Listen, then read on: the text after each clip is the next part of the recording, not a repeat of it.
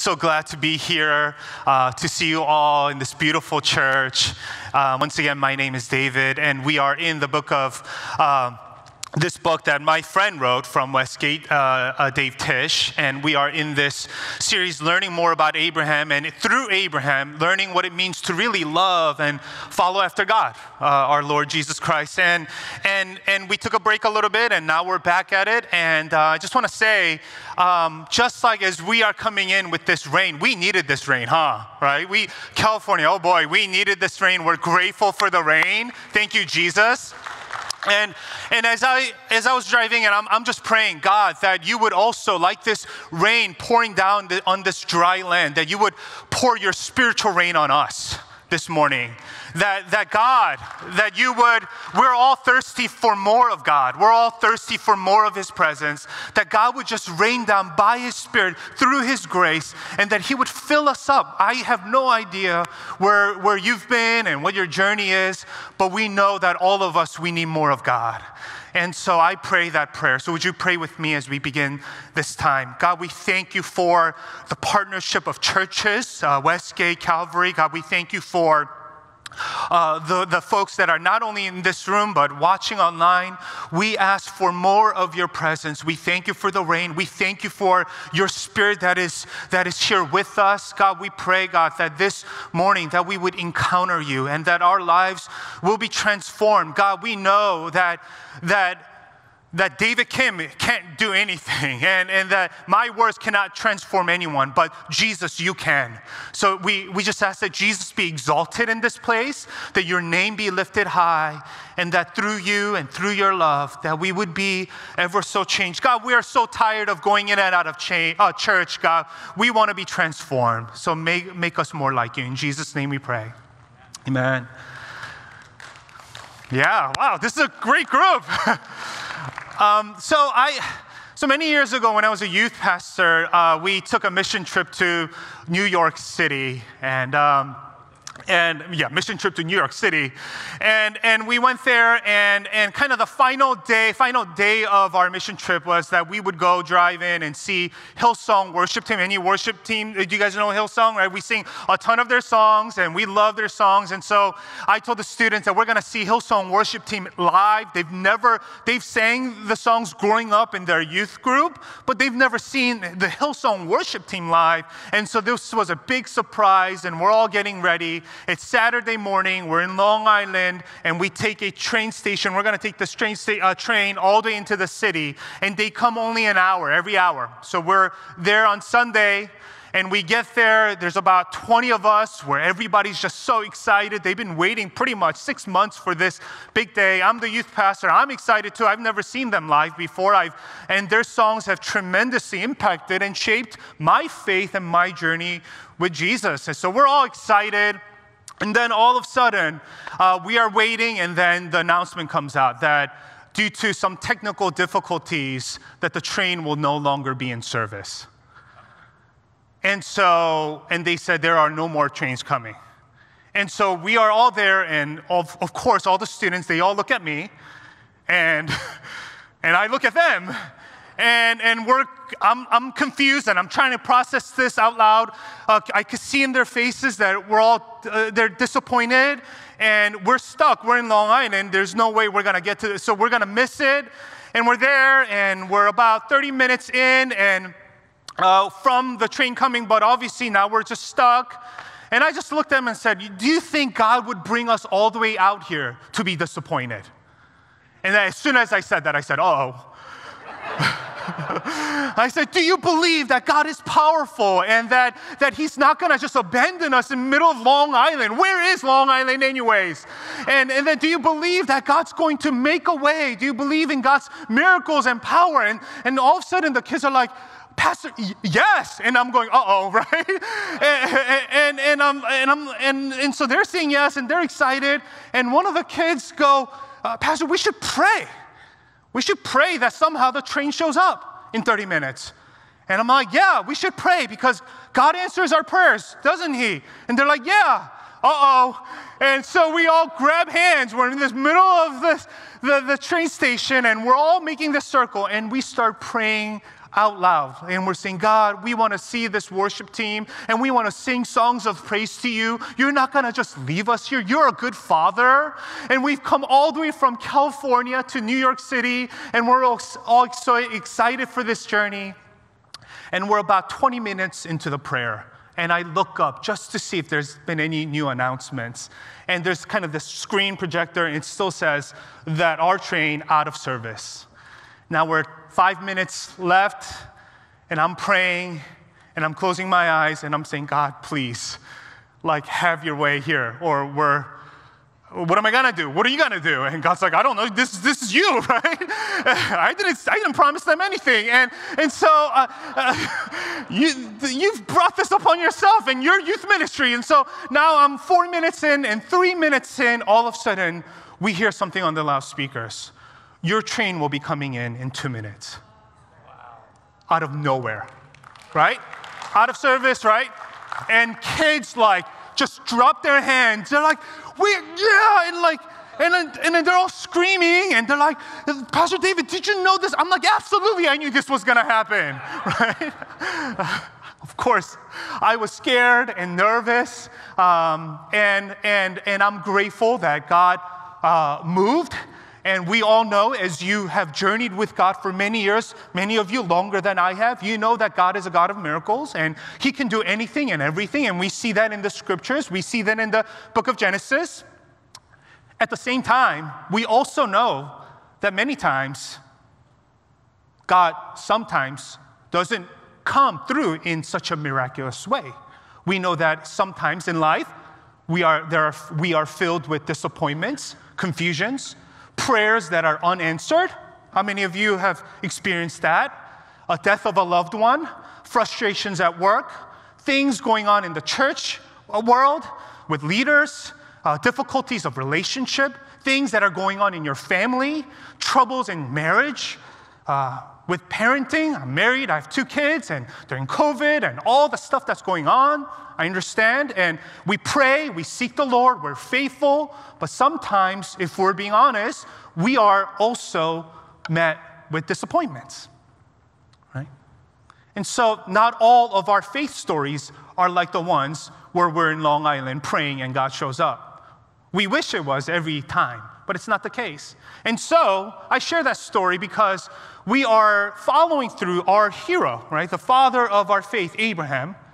And and there has been some crazy things like miracles after miracles happening. God shows up out of nowhere. God speaks to Abraham. God is uh, ushering him out. He promises him that, that your descendants will be numerous like the stars. And God is doing amazing things. And you get to this interesting story in Genesis 16 where now Abraham and Sarah, they're waiting for their child, and God has promised them, and they are now filled with disappointment.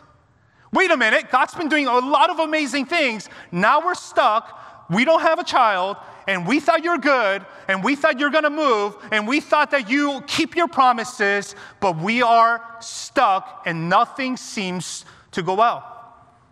And when humans, when all of us, like Abraham, when we are met with some frustrations and difficulties, when our lives, when things don't make sense, we often do one of three things.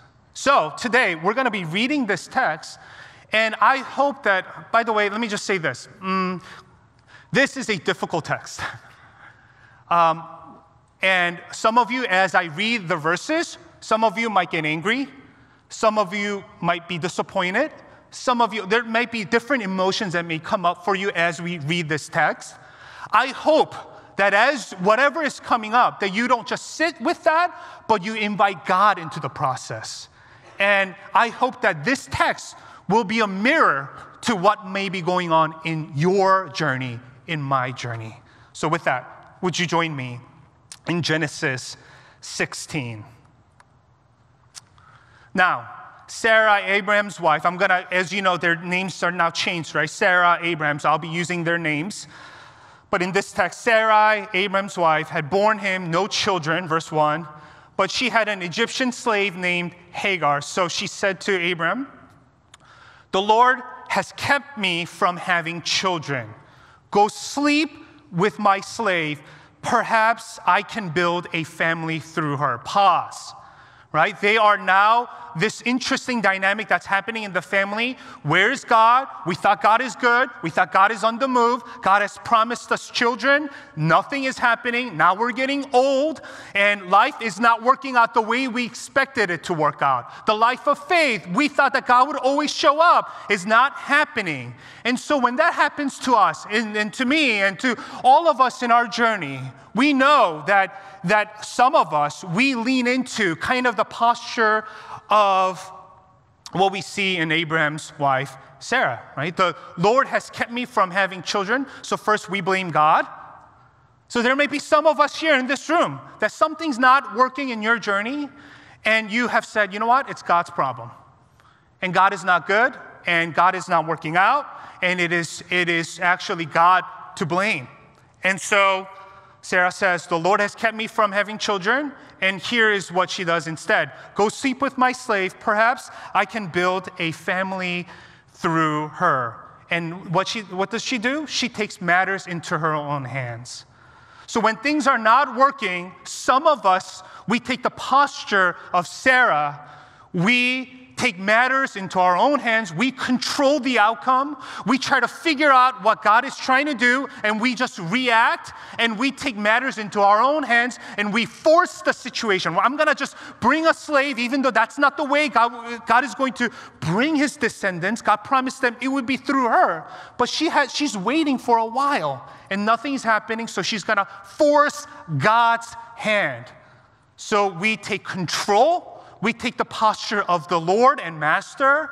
And many of us, as we read the story, if that's you in this room, man, that's a mirror that we're saying, Lord, God, if that's me, God, would you invite me to the process of confession and reflection that I, maybe some of you at home, maybe you are a leader at this church.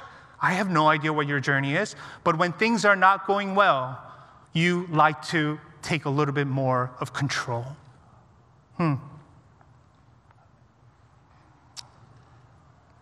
Let's go to the following. Abraham agreed to what Sarah said. So Abraham had been living in Canaan 10 years. Sarah, his wife, took her Egyptian slave Hagar and gave her to, uh, gave her, to her husband to be with his wife. He slept with Hagar and she conceived. Now, we have another response, right? The second response is like the response of Abraham. So far, he's been the hero of our faith, and we see such a disappointing story. But actually, it's supposed to be an encouragement to us that even great leaders fail. Only Jesus is perfect. This is a reminder that even the hero, the father of our faith, Abraham, he has a disappointing kind of a posture here. And what he does is that even though he should be waiting for God's promises to unfold, he just says, You know what, Sarah, if that's what you want, okay, I'll just sleep with Hagar. And he becomes very passive in his posture, in his journey with God. So he just says, okay, I'll just do that. I will not lead. I will not speak against it. I will not say, hey, that's not what we've agreed to. That's not what God has promised. He doesn't discern. He doesn't step in to say, no, that's not how we do things. We have to lean in. And kind of the story reminds you of a little bit of Genesis 2 and 3, doesn't it? Right? It's a similar story that's happening before us. And so Abraham just agreed to do that, and he becomes passive in his posture. And when she knew, uh, verses following, when she knew she was pregnant, she began to despise her mistress. Then Sarah said to Abraham, You are responsible for the wrong I am suffering. I put my slave in your arms, and now she knows she's pregnant. She despises me. May the Lord judge between you and me. So Sarah is now blaming Abraham right? So we have, uh, we, have, uh, we have one individual like Sarah who likes to blame others, take control, and when things fall apart, they don't take any responsibility. We have another individual like Abraham, when things are going wrong, can't speak up, is very passive to the conversation. And by the way, I can relate to both. If you're like, wait, what about if I can relate to both? Oh, we, we all need Jesus here, right? Uh, Uh, sometimes I could see myself being a little bit more in control and, oh God, please have your way in me. Sometimes I'm very passive. I'm actually conflict avoidant naturally. How many of you are conflict avoidant uh, here in this room? We're all clapping. Yeah right? So you understand Abraham. Like, I'm not gonna, I'm not gonna do anything. I'm just gonna let this thing happen and just uh, go from there. I don't like conflict, and especially last two years of all the conversations about masks, vaccines, politics, race, and just everything that's happening. Like for me, it's like, man, there's like tension everywhere, and the things can get really intense. And for me, instead of saying the right thing, instead of speaking up, I let sometimes things happen happen. Like some of you in this room, you are going through stuff at your home, and God is inviting you, if you're in the posture of Abraham, to stand. That God is with you. That some of you, you're facing something at work. There's some kind of injustice, or there's you see something that's happening that's a wrongdoing. That God is saying, no, don't take the posture of Abraham. That you would stand and you would say, actually, that's not the way we would we live in this world. Some of you, maybe you're doing something and you see something at church, and you're like, oh, I don't think that's the right way to follow after Jesus. But you're like, you know what? But if I stand up to that, that's going to cause conflict with leadership. I might get in trouble. I might get fired if you're a staff here. I mean, you're going through all sorts of things like Abraham. so we all relate to the story actually, but it's really a painful to have a mirror to all of us. You're like, David, I thought we are going to have a great morning. What are you doing here? I mean, this is what they gave me, right? This is the text they gave me, so I'm just reading it, guys, right? That's all I'm doing. I'm just obeying my leaders. And I'm conflict avoidant, so I'm just doing what they told me to do, right? Teach this text, okay, right? And so uh, maybe you're that. And man, like, just being honest, um, with all the um, racial stuff that was happening last year and, and um, and as an Asian American, I don't know if you can tell, but I'm Asian American. uh, and and uh, just kind of the, all the hate crimes that was happening in our community, I wanted to speak up, but like even though it was my own community, I was afraid of what that would that might cost. I understand the cultural climate. I understand many Christians have a different perspective. And even though it was like I called my mom in New York, and my mom's like, I'm afraid to go to Costco. Somebody at our church got beat up and, I, and I'm listening to that, and I want to kind of begin some conversations, but I'm having a hard time. I see myself like Abraham, like things are happening to my own community, and I can't even lean in. You know? Like I'm a coward. And I look at this text, I'm going, Lord, please have mercy on me. Because there's an area to grow for all of us in this journey. And actually, the author of this book, the Abraham book that we're all doing together, I remember uh, he, uh, one of the first incidents that happened, he called me and he said, Hey, like, we're good friends on staff at Westgate. He said, David, like, um, is there anything that I can do for you? You know? I haven't shared that publicly, but I still remember that phone call. Dave Tish, you know, hey, um, is there anything with my influence and with the, the positions that God has given me? Is there anything that I can do to stand, to help, to serve in any way? And, and as I was kind of reflecting upon this passage, wow, Dave, my friend Tish, he could have taken the posture of Abraham, just say, you know what, that's not my problem, right? That's, that's somebody else's problem. And if I, if I jump in there, I'm, well, then I'm going to get some emails from the church. It's not worth it. It's just not worth it. But you know what? No, that's not the way of Jesus. I'm going to step in and say, you know what? Like, I, I want to serve. I want to come alongside you. And man, like, boy, God is saying, like, as we reflect upon this text, this is not to actually shame Sarah or shame Abraham for their faults. God is saying, Would you use this story as a mirror to your own journey with me? Where are you? All right, the verses follow like this Abraham agreed to what Sarah said. So after Abraham had been living in Canaan 10 years, Sarah, oh, oops, uh, uh, so, so she, when she knew she was pregnant, she began to despise her mistress. Um, you are responsible for the wrong. And oh, okay, next slide. Your slave is in your hands, Abraham said. Do whatever, uh, do with her whatever you think is best. Then Sarah mistreated Hagar, and the word there, mistreated, means, I mean, it, it, was a physical, psychological abuse, right? It was a harsh treatment of Hagar, and she fled from her. Like, can you imagine for Hagar? Like, I thought I'm in the household of somebody who loves God. Like, this is supposed to be the father of the faith. Like God's going to use him as one of the key figures, and I'm supposed to be under their protection. But the very people who are supposed to care, protect, and fight for my justice are the very ones that are abusing me. Like it's, and and Abraham says, like, it's in your hands. I don't want anything to do with it. I mean, this is the most passive uh, uh, uh posture that Abraham has ever been in his journey with God. And he sees the mistreatment, and but he's like, if I step in, then then my marriage with my wife is going to get awkward. And as you know, happy wife, right? As, right? Like you don't, you don't want you don't want that marriage tension. It's like ah, if I speak against Hagar, I don't want to have another tough conversation with my wife. I want to have a good dinner tonight, right? I'm not gonna rally. I'm not gonna. I'm not gonna get my wife's emotion all stirred up for this. Even though there's an abuse that's happening in my household, I'm just gonna let it be. And that's the posture that he takes. So she flees from her. Now we're introduced.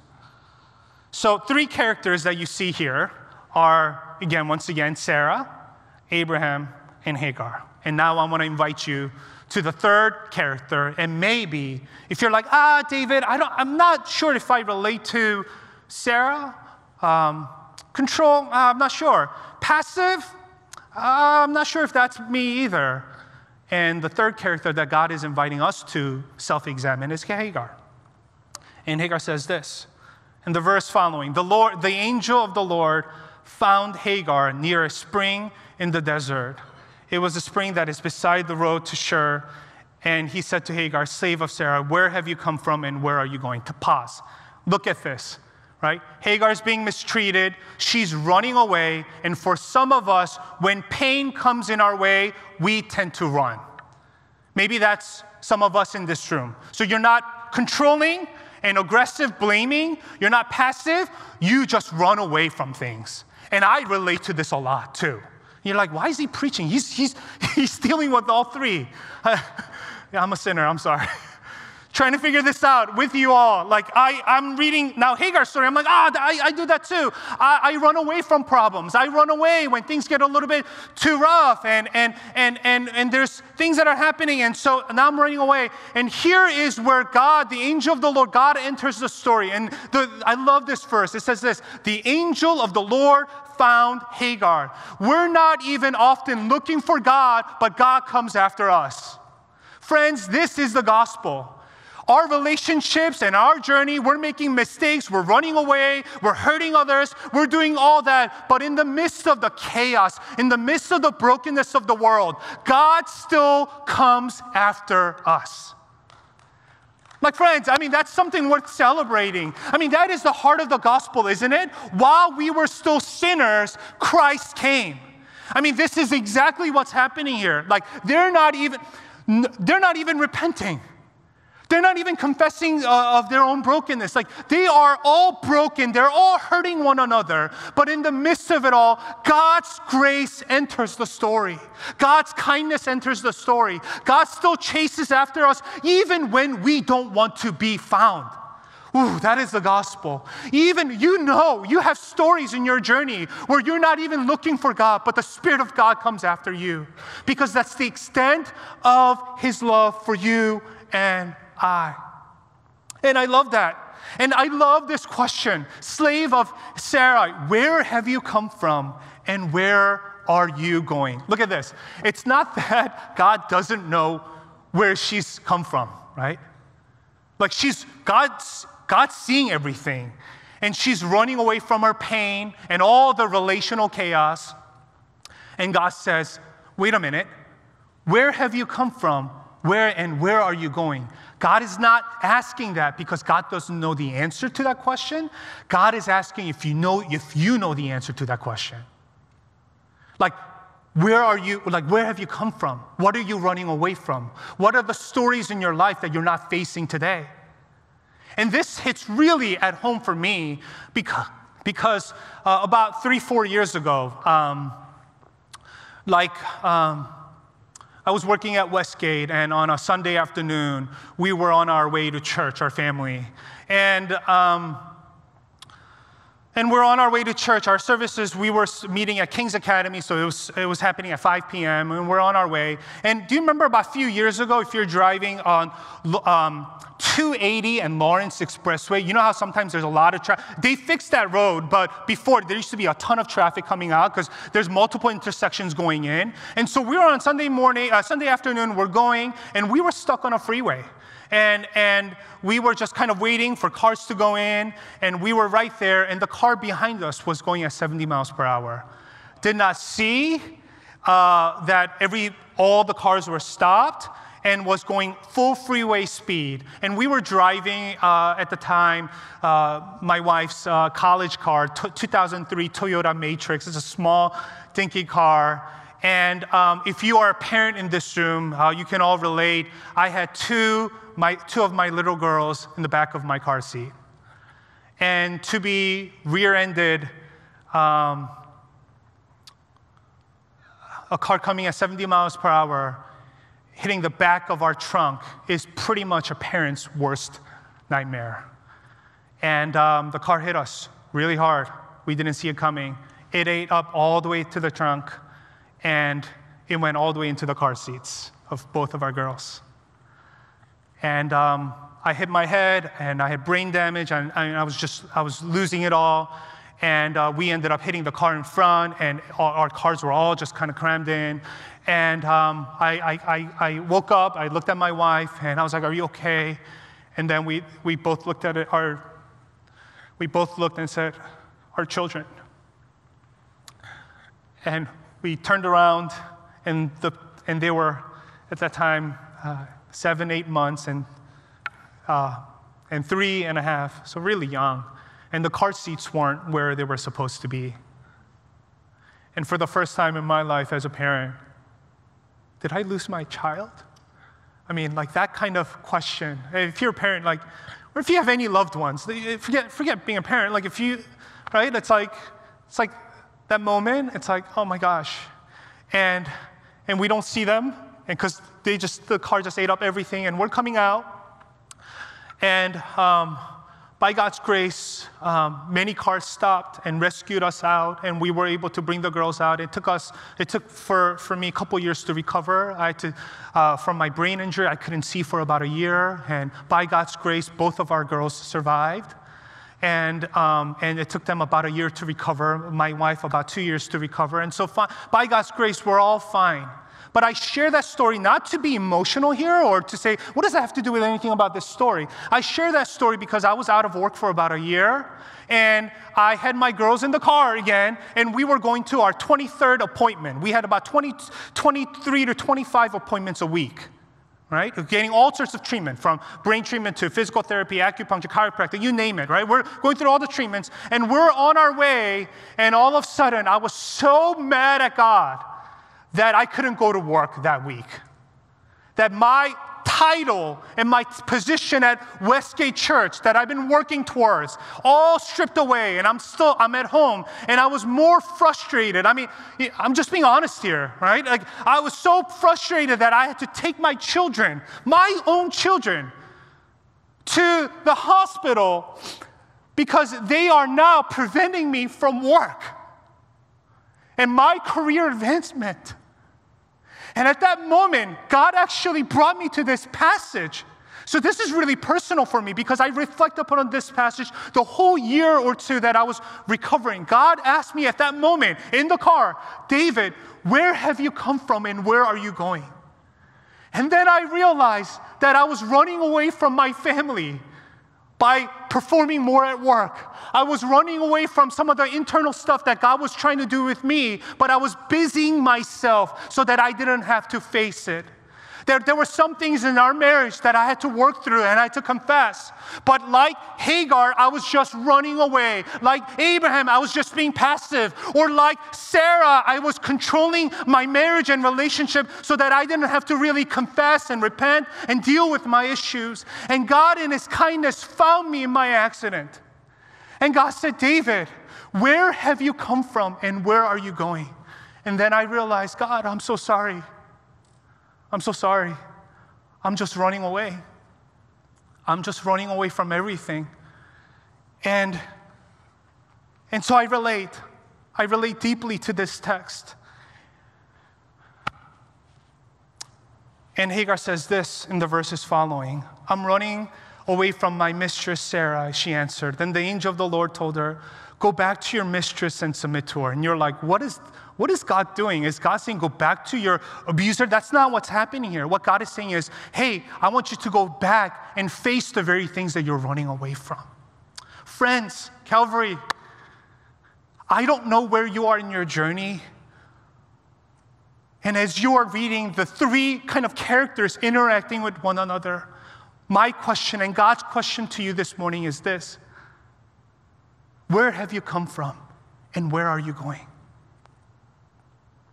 The angel of the Lord told her, Go back to your mistress and submit to her. The angel added, I will increase your descendants so much that they will be too numerous to count. I will bless you. I will be with you, God says. The angel of the Lord also said to her, You are now pregnant, and you will give birth to a son. You shall name him Ishmael, for the Lord has heard of your misery. He will be a wild donkey of a man. What the heck? Like it's so good, right? Like so emotional. God's like, I will be with you, and your son's gonna be a donkey. What? Is this a curse, God? he will be a wild donkey of a man, right? Like, God, I've been, I'm, I'm, I'm crying with tears, and then all of a sudden you're like, what, what just happened? God is saying, your son is not no longer gonna be a slave. It's gonna roam around freely, right? It's actually a blessing, saying it won't be held down your son won't be enslaved to a household. Your son will be blessed. And, and but because he's going everywhere, his hand will be uh, against everyone, and, and he will live in hostility towards his brothers because he's free to roam around. She gave him, uh, she gave this name to the Lord who spoke to her, and she says this. You are the God who sees me, for she says, I have now seen the one who sees me. That is why the well was called Beer Lahai Roi. It is still there between Kadesh and Bered. So Hagar bore Abraham a son, and Abraham gave the name Ishmael to the son she had borne. Abraham was 80 years old when Hagar bore him Ishmael. So let me leave you with this as I end my time with you. Loving God means this loving God means trusting Him when it doesn't make sense because he sees you and is always with you. Let me say that again. Like God is saying, like, I'm gonna find you no matter where you are in your chaos, at work, at church, in ministry, in your family, in your relationship, wherever you are. Like it's things are not making sense. You're like, God, I'm stuck here. God, things are not going well. And God is saying, I see you, I am with you, and I am for you and not against you. But here are the three invitations. Don't take the posture of kind of taking God's responsibility to control things. Don't be passive. Don't run away, but allow me to be invited into your life and say, God, you see me, you are with me, I trust you, I lean into you, God. God, I will not be passive, I will not run away, I will not be aggressive, but God, I will join you, Lord.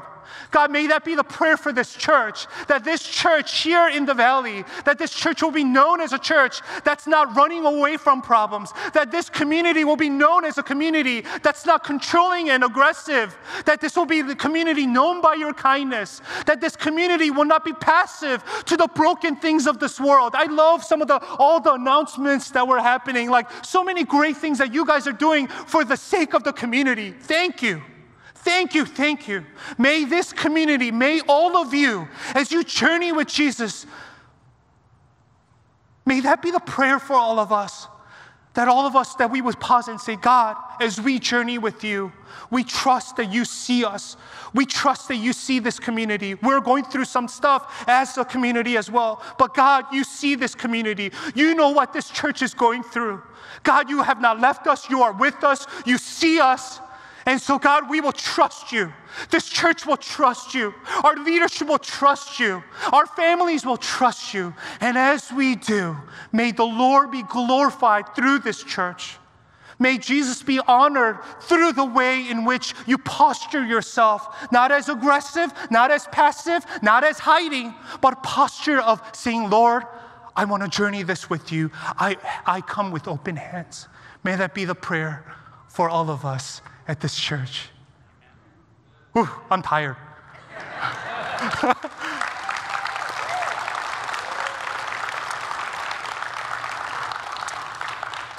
Would you pray with me?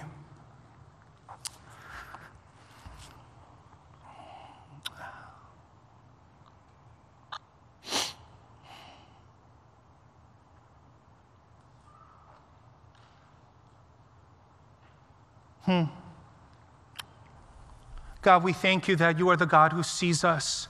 God, we thank you, God, that you see where we are in our own lives with you, in the ways in which we mm, are falling short of the invitation to become more like Jesus. But we thank you, God, that you are still chasing after us, that you are still finding us where we are.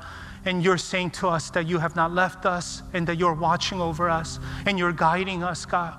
We thank you for what you are doing. God, I just pray for all of us, whatever relationships that we will be facing this week. God, I pray that before we say that word, I pray that before we move into some kind of a direction, God, let us pause as a community to say, God, what would you do? And what do you want me to do in this situation? God, we pray, God, against the controlling spirit that that remains in our, in our, in our culture today, that we actually want to be more like God and we want to take control. God, we confess that and we say, Lord, we want to be a people that surrender. God, we pray against kind of the passive spirit that is in our culture today, where when we see wrongdoing, because we don't want to cause much conflict, God, we just close our eyes. God, I pray that this church would open its eyes. God, I pray that Westgate would open our eyes. God, that the churches in the Bay Area will continue to open our eyes to the brokenness of this world and we would act in compassion and love. God, there are things in our lives that we are running away from. God, I know in this room, God, in my own life, in my marriage, I just had a fight with my wife yesterday about something. Like there are things that I'm just running away from. God, give us the courage to stand and to confess. Give us the strength to say, I'm sorry. Give us the strength, God, to say, I'm wrong. And God, I want to get better. God, would you continue to shape us, Jesus, more and more into your image? That is the prayer. God, we thank you for this story. We thank you that Genesis 16 isn't shown to shame us, but to invite us to become more like you. So we thank you for the grace and the invitation. We love you. In Jesus' name we pray. Amen.